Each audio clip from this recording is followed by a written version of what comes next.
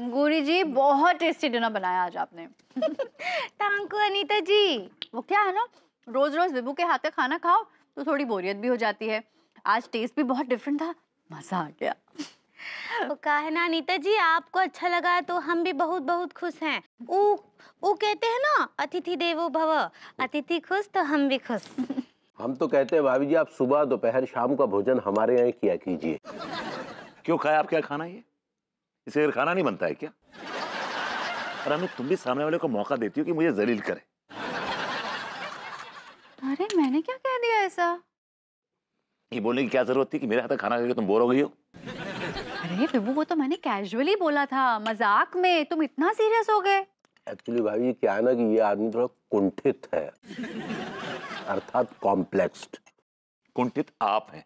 Complex आप हैं। अरे भाई हम किस एंगल से कुंठित होंगे भाई? हमारे पास किस चीज़ की कमी है? धन दौलत शोहरत पैसा सब कुछ तो है हमारे पास। दो चार लाख रुपए जेब में होने से ना आदमी रईस नहीं हो जाता समझे? okay. अच्छा? आपसे किसने कहा कि हमारे पास सिर्फ़ दो चार लाख रुपए हैं? ये- ये- ये- का का कर रहे हैं? काहे काहे बहस कर रहे हैं? अगली एक में तुम अपनी चोंच बंद रखो समझी? आपकी जानकारी के लिए बता दें कि हमारे पास सिर्फ़ दो चार लाख रुपया नहीं है बल्कि दो चार करोड़ रुपया है। और ये तो सिर्फ़ ब्लैक का बता रहे हैं। बाकी ज़मीन जायदाद जो है ना वो वहाँ में अलग से और पचास लाख तो बैंक में पड़ा है भैया। अच्छा अच्छा तिवारी जी। आपके पास इतने सारे पैसे हैं। जी भाई ऊपर वाले की कृपा है भाभी जी। और ये जिस सोफे पे आप बैठी है ना भाभी जी ये सोफा इसमें रुई की जगह पैसे भरे पड़े हैं। हाँ और अनीता जी हमारे बाथरूम में जो गद्दा है ना वो गद्दे के अंदर भी सारा नोट ही नोट भरा हुआ है। हम्म, और बीस पच्चीस लाख रुपए तो यहाँ बाथरूम में भी निकल जाएँगे भाभी जी। और ये वो वो पीछे खंबा देख रही हैं आप? हम्म? बीस एक लाख वहाँ से भी निकल जाएँगे। तिवारी जी आप इतने सारे पैसे घर में रखते हैं? भाभी क्या प्रॉब्लम है? घर में सेफ़ है भाभी जी बल्कि बैंक में ज़्यादा सेफ़ नहीं है। और भाई जी पचास एक लाख का तो सोना पड़ा होगा। हाँ और पता है अम्मा जी के पास गाँव में तो ऐसा कोठियाँ भर भर कर सोना है। इसलिए भभूति जी आगे से हमसे पैसे के बारे में बहस मत कीजिएगा समझे? आपकी औकात नहीं है। पैसे की धोस मत दीजिए आप मुझे समझे ना? पैसे की धोस मत दीजिएगा। अरे भाई पैसे और धौंस का तो चोली दामन का साथ है। चलो विभू घर चलते हैं। अरे भाभी जी क्या कर रही हैं? आइसक्रीम तो कंप्लीट कीजिए।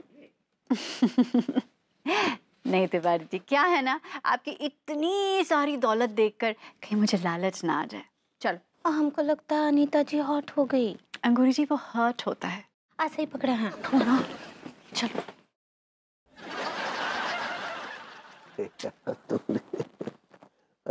अरे अरे अरे। इसमें भी नोट थे पगली, तुमने मैं बताया ही नहीं? ये लो जरा इस साइड में रखो।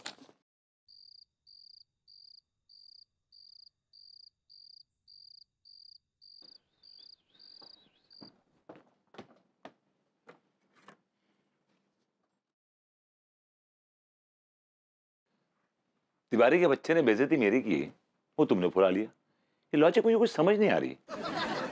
बेइज्जती तुम्हारी नहीं तिवारी ने बेइज्जती मेरी की है। तुम्हारी बेइज्जती किस लिहाज से की उन्होंने? हुई है मेरी बेइज्जती? गुलफाम कली की हुई है क्या? दुर्भाग्य से मैं जो हूँ तुम्हारी बीवी। मतलब मुझसे शादी करना तुम्हारे लिए दुर्भाग्य की बात है? ऑफ़ कौन से तुमने बहुत महान काम किए हैं शादी के बाद?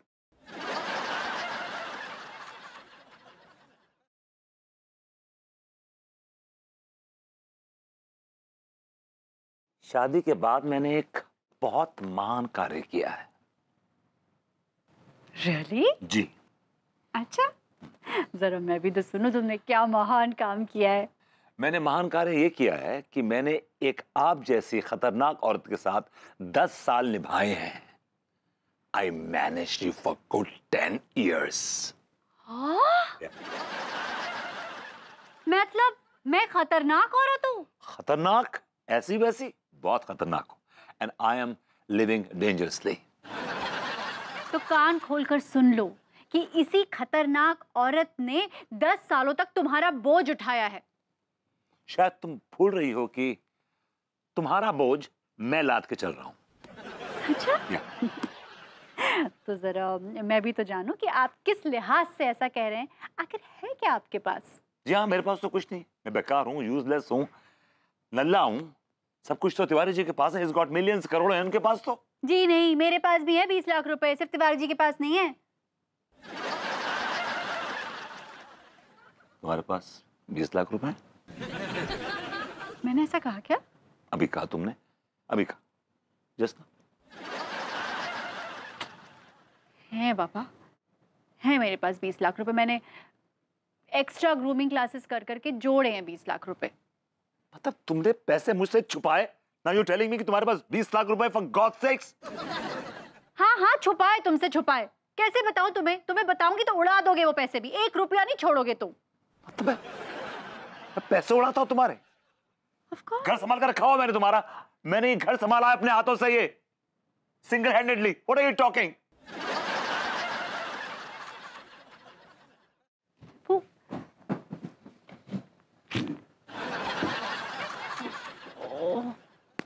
क्यों निकला मेरे मुँह से? अबे लौंडो क्या फालतू की पंचायत चल रही है भाई? भैया कोई फालतू की पंचायत ना चल रही है। डिस्कशन चल रहा है। हमारा देश जो है ना आगे बढ़ रहा है तरक्की कर रहा है। देश तरक्की कर रहा है। डेफिनेटली कर रहा है। लेकिन इस तरक्की में आप लोगों का कोई योगदान नहीं है। भैया हमारा तो माना कोई योगदान नहीं है गो लेकिन आप ये बताओ आपका कौन सा योगदान है गो नहीं नहीं ऐसा नहीं है। एक्चुअली सच ये है कि तुम तीनों का और विभूति भैया का भी इस देश की तरक्की में बहुत बड़ा योगदान है।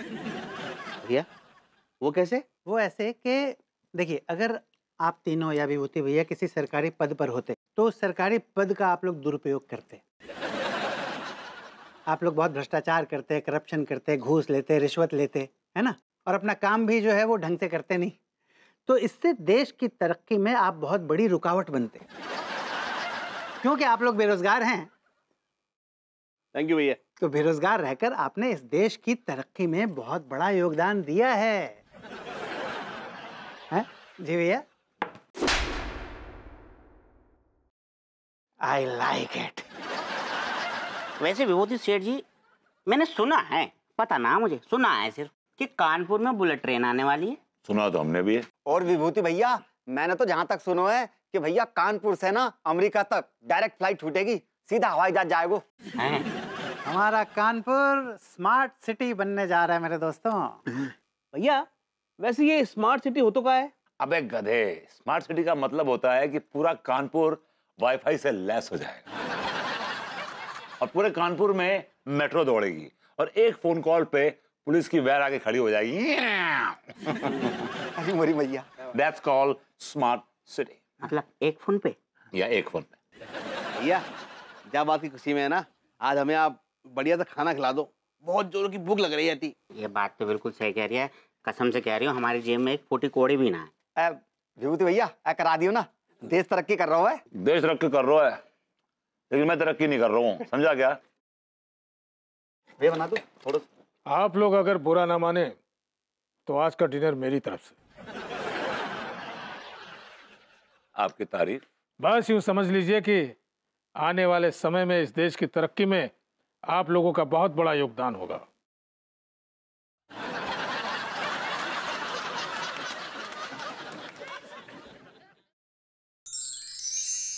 ये पैसा ये पैसा ये पैसा है कैसा? है कैसा? ये पैसा ये पैसा ये पैसा। का, का, का है ये? का है इतने सारे नोट बिछा रहे हैं बिस्तर पर हाँ? पगली एक बार तुम इन नोटों के सेज पर बैठो तो सही। का? इन पर नाही नाही लड्डू के भैया साक्षात लक्ष्मी जी हैं ये। अरे पता है पगली लेकिन तुम एक बैठो।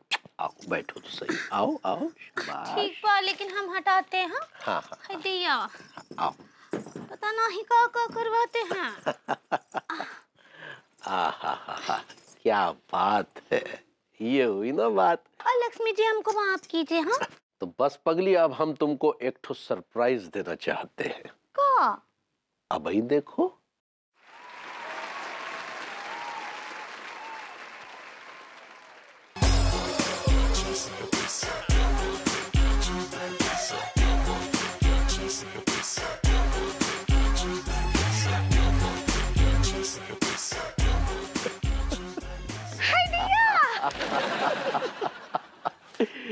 बात है, है?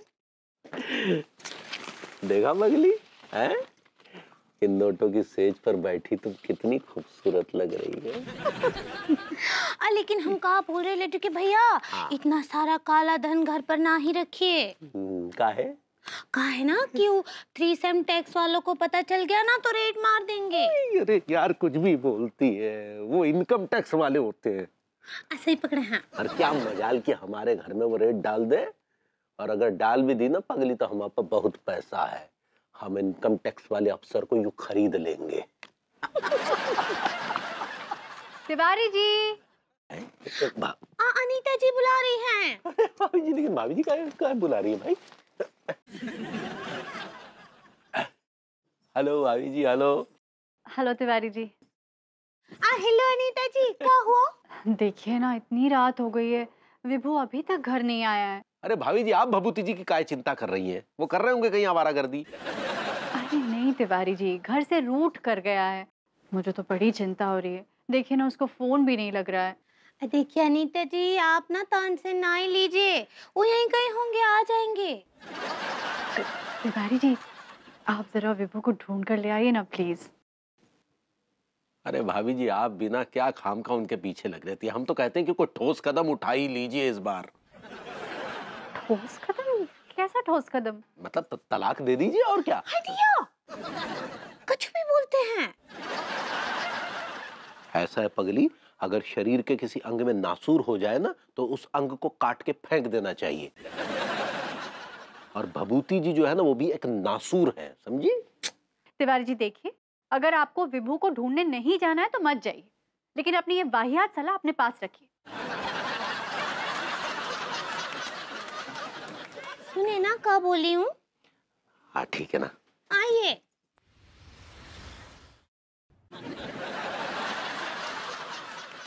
नौजवान तुम नहीं खा रहे?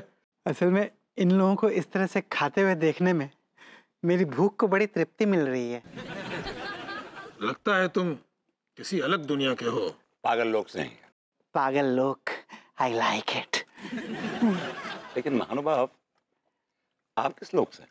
मैं आईटी लोग से हूँ। आईटी लोग? ये कहा तो है। आईटी लोग होता है इनकम टैक्स डिपार्टमेंट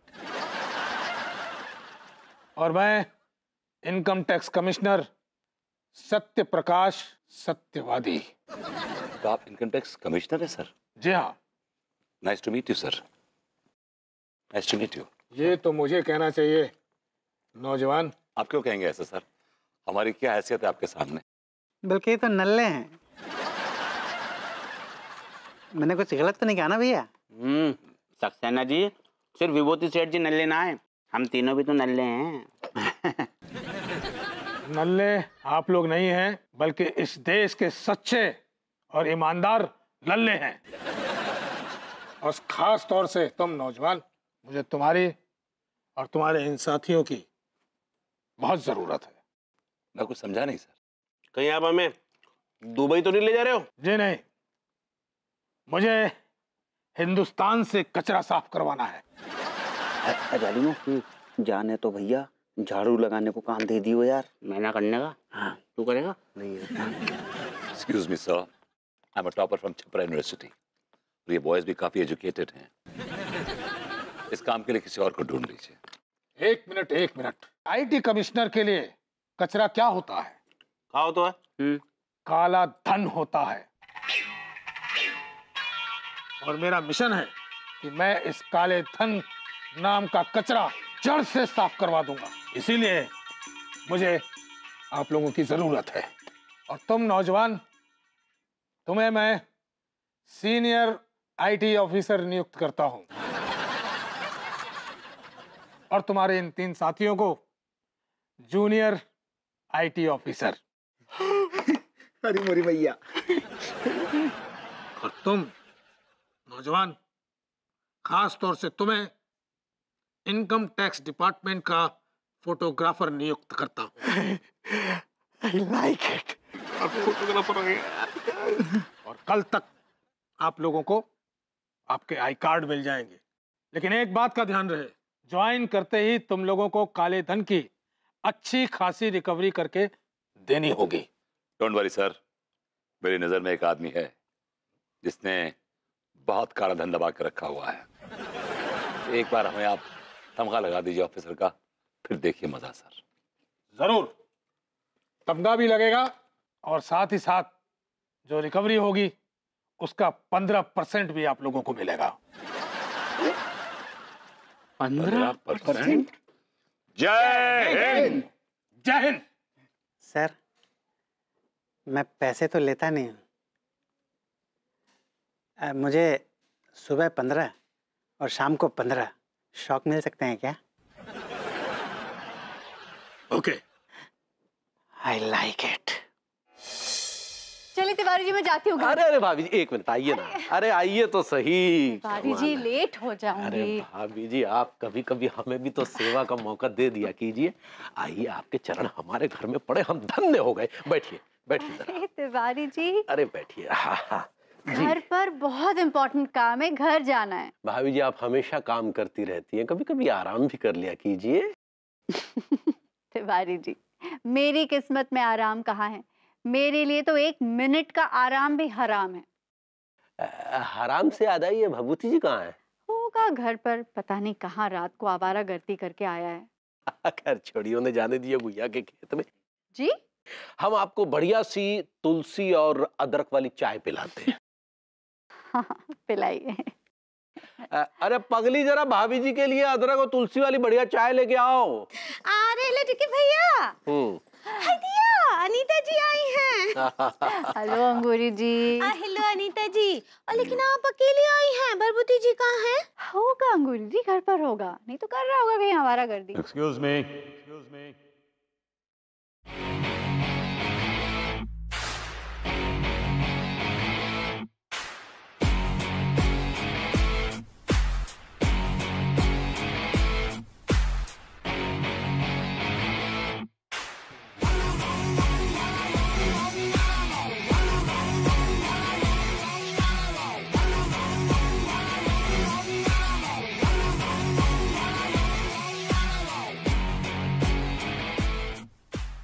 क्या आप मिस्टर मनमोहन तिवारी हैं? जी नहीं सलमान खान है। जितना पूछ रहा हूँ उतना जवाब दो।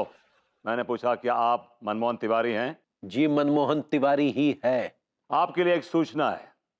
आपके घर में इनकम टैक्स रेट पड़ चुकी है। रेट?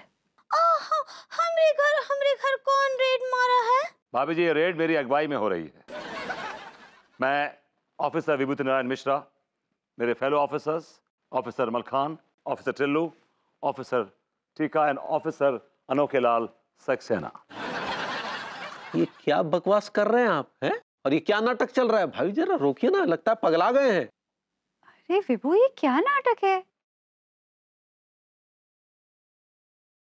आई एम सॉरी मैडम ये नाटक नहीं है। ये मेरा आई कार्ड है ये मेरी असलियत चीख चीख के बयान कर रहा है। हैव लुक अरे! अरे ये तो ये तो असली का आई कार्ड एक्सक्यूज मी ये असली ही है। और ये हमें पर्सनली दिया है आईटी कमिश्नर श्री सत्य प्रकाश जी ने।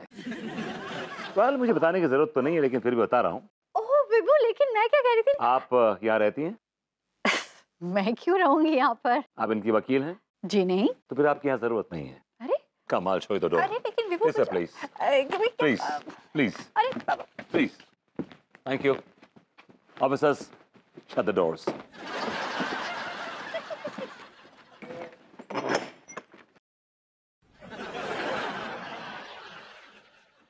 ये ये क्या हरकत है भभूति जी? हमारे हरकत छोड़िए तिवारी जी। जो आपने ज़िंदगी में हरकतें की हैं, अब वक्त आ गया कि आप उसका खामियाजा भुगतें हाय दिया आप बरबूती जी बहुत बहुत हो आप टेलकम टैक्स ऑफिसर बन गए। भाभी जी वो इनकम टैक्स ऑफिसर होता है। आ, सही पकड़े हैं। अरे क्या सही पकड़े हैं? एक तो हमारे यहाँ रेड मारने आए ऊपर से तुमने मुबारकबाद दे रही हो। आप चिल्लाइए मत। जो कह रहा हूँ उस पर ध्यान दीजिए। आईटी रेट के कुछ नियम होते हैं कुछ रूल्स होते हैं कुछ रेगुलेशंस होते हैं जो आपको फॉलो करने पड़ेंगे। Rule number one. Officer Tika sir mobile phones landline and everything should be sealed सारे कम्युनिकेशन बंद कर दो इनके और सब चीज़ अपने कब्जे में ले लो। My pleasure sir. Rule number two कि जब तक आपके यहाँ रेट की कार्रवाई चल रही है ना तो कोई अंदर आएगा ना कोई बाहर जाएगा।